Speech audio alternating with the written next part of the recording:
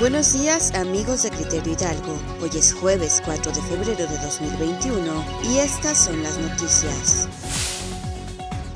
Luego de que el esquema de vacunación para personal de primera línea de atención a la pandemia de COVID-19 en Hidalgo comenzara el 13 de enero pasado, no hay fecha para la aplicación del refuerzo, a pesar de que el fármaco elaborado por Pfizer requiere dos dosis en un intervalo de 21 días.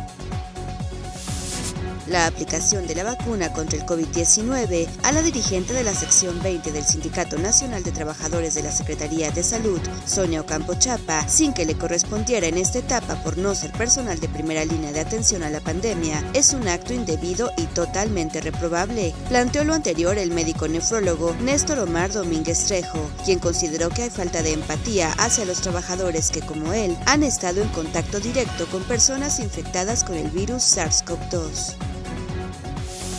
Francisco Javier Zavala Ramírez, presidente de la Asociación de Bares y Cantinas de Pachuca, aseguró que 30% de bares y cantinas se encuentra en riesgo de quiebra debido a que antes de las medidas sanitarias para mitigar la pandemia de COVID-19 han permanecido cerrados durante 10 meses. Al menos 19 negocios han sido infraccionados y se han levantado dos actas de clausura de establecimientos por rebasar el horario de venta permitido en Mineral de la Reforma, precisó el ayuntamiento a criterio.